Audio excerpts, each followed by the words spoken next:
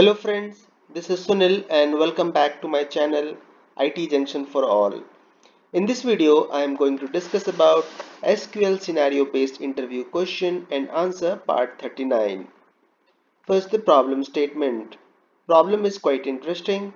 We have to write a SQL query to print movie theater like seating arrangement as shown below. So if you see the output, we have total 12 rows from A to L and each row is having 10 seats starting with A1 to A10. Similarly for other row also will have B1 to B10 to till L1 to L10.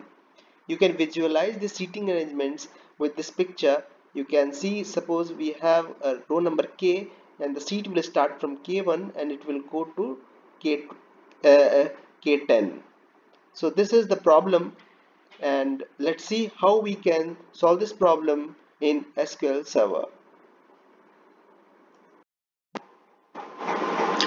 So we can solve this problem by using common table expression. So I will start with the code. So I'm starting with with clause with let's say ct underscore underscore alphabet.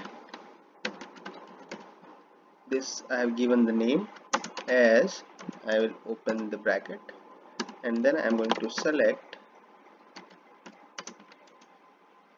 we'll use char function. And then inside that I'm going to use ASCII code function. And I will use letter A. And I'm going to close the bracket. And give alias as letter. After that I'm going to do union all. And I'm going to copy this.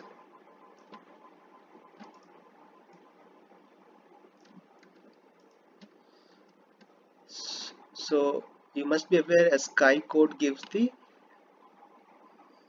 the ASCII code gives the ASCII code of a.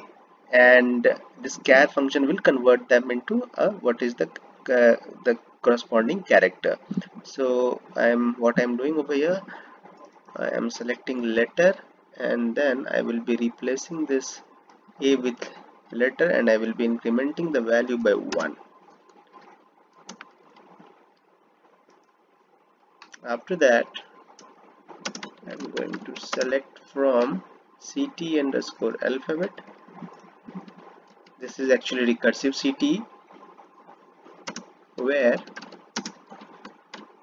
letter is not equal to L. So we want row till L. That's why I have selected where letter is not equal to L. So this is our first CTE. If you want to see what is what what value does it return so we'll do select star from ct underscore alphabet. So if I run this you can see we have the letter A to L. This is the row number. So our first target is achieved. Now we'll go for second target. That second target is to get the numbers from 1 to 10 so I'm going to delete this part and then I will I will create another CTE let's say CTE underscore uh, uh, seat.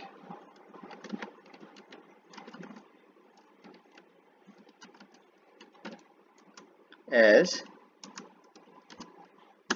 here I'm going to select one as number. And I'm going to do union all. And after that I'm going to select number plus 1 from ct underscore seat where number is less than 10 we are generating till 10 because we want seat till 10 so let's see what this CT is returning. Select star from ct underscore seat. If I run this so we are able to generate number 1 to 10 now our second target is achieved. First we got the letter from A to L and the second we, uh, CT we got the number from 1 to 10 now I am going to create another CTE named as final. So skip comma and then we give CTE underscore final as and I'll open the bracket and in that I'm going to select letter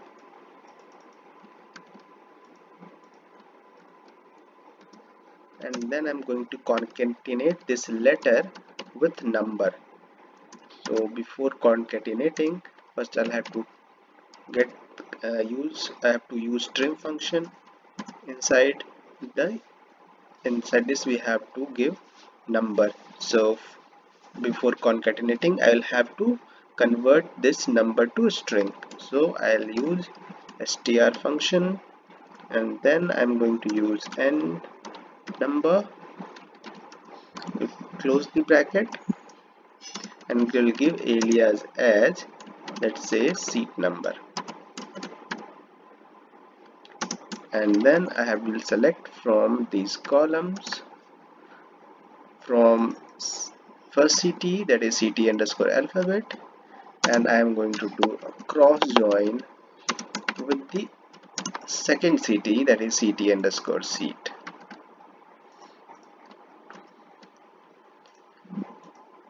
so let's see what what result does this CT underscore final gives.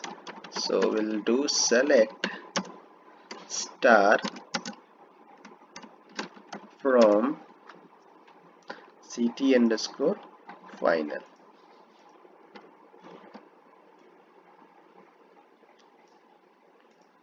So now you see that we have got the cross product of the letter and the seat number now what we have to do we have to convert these rows a1 b1 c1 d1 e1 f1 g1 h1 i1 j1 k1 l1 into one row.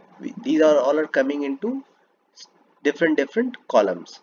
Sorry different different rows. So we have to get this into one column. So for that what we'll do? So for that I'm going to first we'll select letter and I'll give alias as row and then I'm going to use string aggregate function. Inside this I'm going to use seat number and I want seat number separated by comma. So I, am, I will give comma inside with the inverted commas. And then I'm going to use within group. And inside this I will be doing order by letter. I close the bracket and in the end I'm going to use group by letter. So now if I run the full code here you go. You got the solution.